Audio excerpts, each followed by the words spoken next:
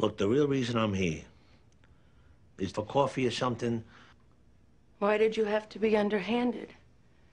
I don't find that appealing, frankly. I was going to ask you out for coffee or something, but I didn't think you'd go for coffee or something.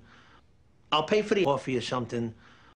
Forget that. You could if you wanted to. Go for coffee or something. It's basically about coffee or something. That's not the point. You probably couldn't get coffee or something. That goes without saying.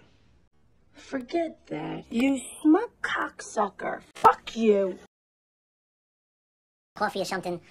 I see you haven't lost your sense of humor. I was listening to that guy on, on TV, Dr. Phil, and he was talking about a similar situation. And he said that You're ugly. You're disgusting. I'm going to kill you. Give me $200. if you wanted to, there's no set rules. It's basic, and you probably couldn't get sued. That's not the point.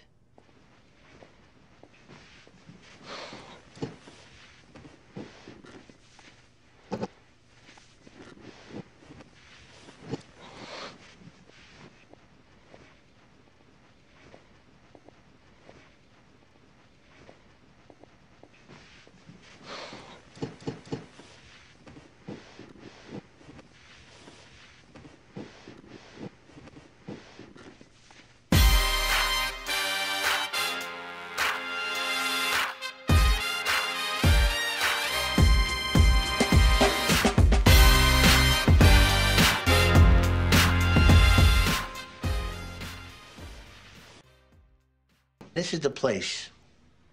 And that's the Dr. Phil. So that being said, if you don't like me, if you don't listen to that Dr. Phil on, on TV, or whatever, then the matter will end here, and I will never ask you again. You can be honest. Explain to me, okay? Why this is a matter of such importance to you. There must be plenty of women out there. Dr. Phil is different from what's out there. Not to mention being drop dead beautiful. My training teaches me to go fairly quickly. Jesus Christ almighty, come on, will ya? Why can't I do something that's just for Dr. Phil, for a change? Well, I want Dr. Phil. And not just for the smart things he was talking about on TV. I, I- I want, I want Phil's skin. I want Phil's mouth. I want Phil's eyes. You project all these qualities onto Dr. Phil. This is what happens, you underhanded. Smug cocksucker. Well,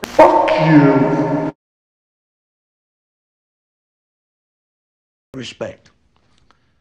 You know, f- forget about the way that Dr. Phil makes his way in the world. It's just to feed his children. There's two Dr. Phils. You've never seen the other one. That's the one I want to show to you.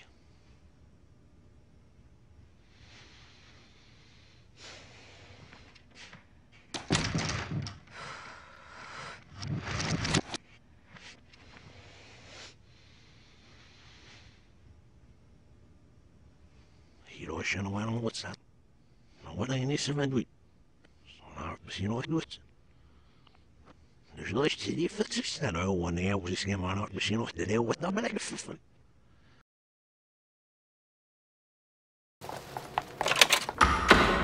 cocksucker.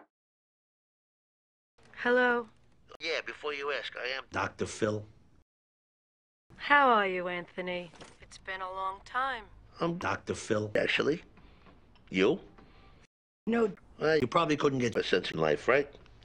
And how is life? Good, good. Well, I'm separated. Me and the other Phil. I'm sorry to hear that. Don't be.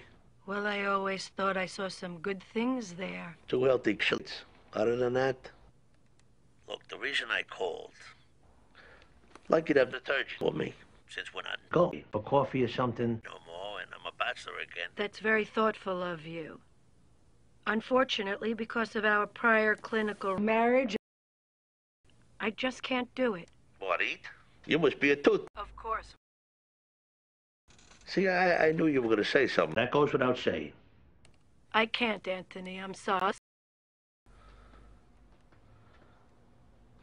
You know, I waited him. I waited him. I waited him. I waited him. I waited him. I waited him. I waited him. I waited him. I waited him. I waited him. I waited him. I waited him.